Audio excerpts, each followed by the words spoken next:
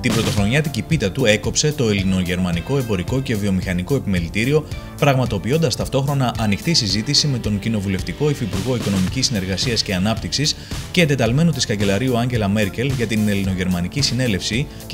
Νόρμπερτ Μπάρθλ, και τον αντιπρόεδρο της Νέας Δημοκρατίας, κ. Κωστή Χατζηδάκη. Ιδιαίτερα τυχερός δείχνει να είναι φέτος ο ασφαλιστικός κλάδος, μιας και το φλουρί έπεσε στην έργο ασφαλιστική. Φαίνεται λοιπόν ότι μάλλον δίνουν τα πράγματα ότι είναι η χρονιά της έργο. Μια και κερδίζετε το φλουρί, να ξεκινήσω από εκεί. Είστε στο Έλληνο-Γερμανικό Επιμελητήριο, στην βραδιά, το δείπνο που κάνει. Δύο λόγια για την υποστήριξη που έχετε προς το Επιμελητήριο από την έργο. Παραδοσιακά στηρίζουμε το Ελληνογερμανικό Επιμελητήριο γιατί πιστεύουμε ότι κάνει μια πολύ σοβαρή δουλειά προς όφελος της Ελλάδας, της χώρας, ιδιαίτερα αυτές τις δύσκολες στιγμές που έχουμε ανάγκη από επενδύσεις.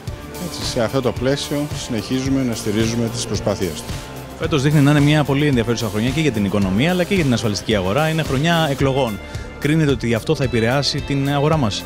Σίγουρα οι εκλογές, αν θέλετε, είναι ένας παράγον ο οποίος επηρεάζει την εξέλιξη της οικονομίας, ιδιαίτερα σε μια τόσο ευαίσθητη στιγμή. Είναι κάτι που η αβεβαιότητα που συνήθως συνδέεται με τις εκλογές δεν βοηθάει. Γι' αυτό σύντομα θα πρότεινα να τελειώνουμε αυτή την αβεβαιότητα, να αποφασίσουμε ποιος θα είναι ο επόμενος κυβερνήτης της χώρας για να μπορέσουμε να βγάλουμε τη χώρα επιτέλους από αυτά που περνάμε όλοι μας ε, σαν οικονομία και σαν ε, πολίτες αυτής της χώρας.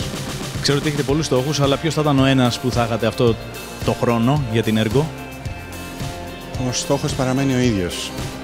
Συνεχής βελτίωση, ποιοτική αναβάθμιση των υπηρεσιών μας, αλλά και θα έλεγα ε, της αξίας την οποία παρέχουμε προς όλους οι οποίοι συνδέονται με την εταιρεία σας, προς τους πελάτες, προς τους συνεργάτες, προς τους υπαλλήλους.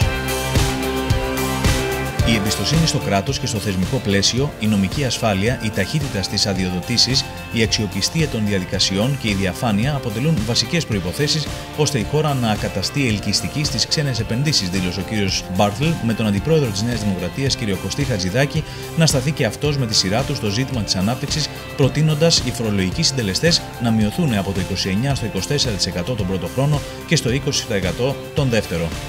Από την πλευρά του, ο πρόεδρος του Ελληνογερμανικού Εμπορικού και Βιομηχανικού Επιμελητηρίου, κ. Μιχάλης Μαήλη, ανέφερε χαρακτηριστικά πως η λύση για την Ελλάδα είναι μία: η άσκηση πολιτικής στήριξης της πραγματικής ανάπτυξης που θα πρέπει να αποτελέσει προτεραιότητα κάθε μελλοντικής ελληνικής κυβέρνησης.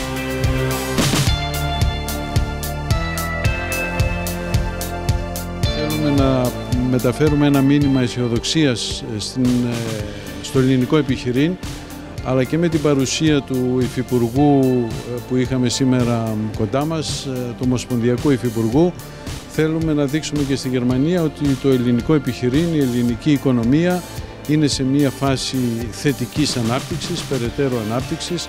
Εμείς σαν διμερές επιμελητήριο ε, έχουμε αναπτύξει μια σειρά από πρωτοβουλίες και δράσεις για την περαιτέρω σύσφυξη των ελληνογερμανικών εμπορικών και οικονομικών σχέσεων προς όφελος των μελών μας αλλά και προς όφελος των δύο εθνικών οικονομιών. Φέτος είναι και χρονιά εκλογών. Κρίνεται ότι αυτό θα επηρεάσει την οικονομία και τις επιχειρήσεις. Σαφέστατα, αυτές οι χρονιές είναι πάντα δύσκολες χρονιές για την οικονομία. Ε, οι επενδυτές περιμένουν ε, το αποτέλεσμα, το εκλογικό αποτέλεσμα. Οι επιχειρήσεις είναι επίσης σε μια στάσιμη κατάσταση, δεν ε, προχωρούν σε επενδύσεις.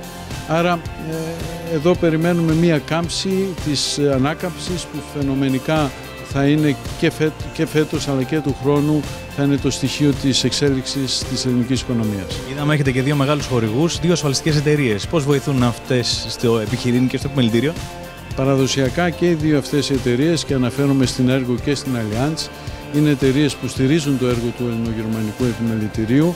Είναι παραδοσιακά δίπλα μας και έμπρακτα και οικονομικά αλλά και με ιδέες, προτάσεις. Είναι πάντα κοντά μας για να αναπτύξουμε και εμείς τις πρωτοβουλίες και τις δράσεις μας.